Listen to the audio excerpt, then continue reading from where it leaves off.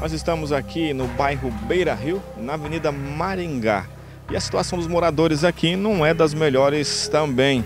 Todo ano é a mesma reclamação quanto à situação da avenida aqui. Praticamente fica intransitável. Como vocês vão acompanhar nas imagens, a rua aqui está totalmente cheia de concreto, sacos de terra, pedaços de madeira, né? Enfim, tem um monte de coisa jogada aqui no meio da rua para poder tampar os buracos que existem.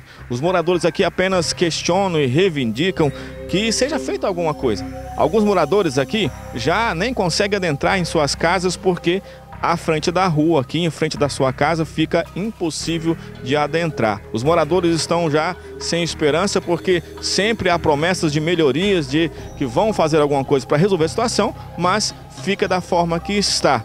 A rua fica praticamente só buraco e cratera.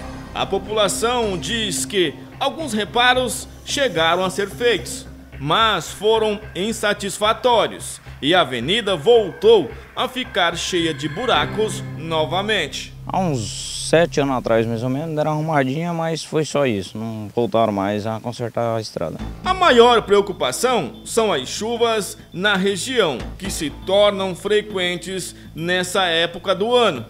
De acordo com os moradores, os buracos enchem de água e os condutores não podem ver a profundidade e correm risco de acidentes.